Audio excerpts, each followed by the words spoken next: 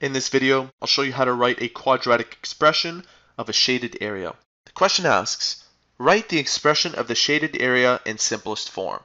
So what we have is a rectangle, and a chunk of this rectangle has been removed with the dimensions 2x and x plus 1.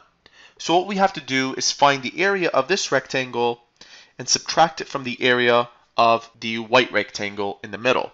Remember that the area of a rectangle is length times the width. So the first thing that I'll do is find the area of this bigger one, and then I'll find the area of the smaller one, and then subtract them. So this is our length, this is our width, and it doesn't really matter which one you assign as your length or your width. So we have 3x minus 7 times 2x minus 1. Now what we have to do here is expand these two binomials. This is a binomial and this is a binomial. And to expand it, we start off with this first term. We multiply it to the 2x and we end up with 6x squared.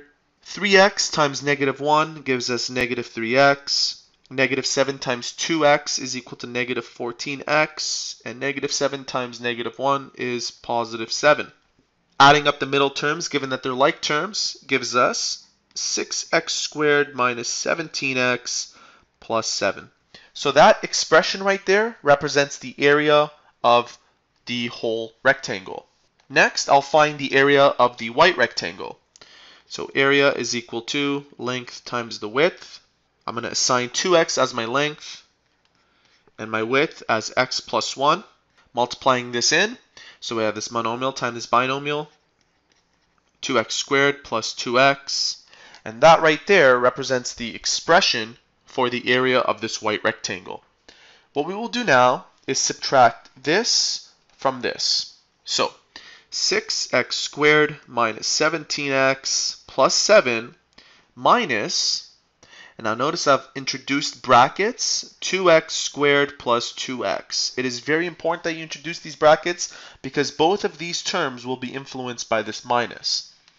So I'm going to multiply this negative into the binomial to its right, and we end up with 6x squared minus 17x plus 7 minus 2x squared minus 2x.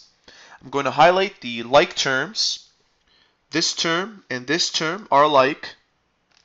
This term and this term are alike. Let's combine them.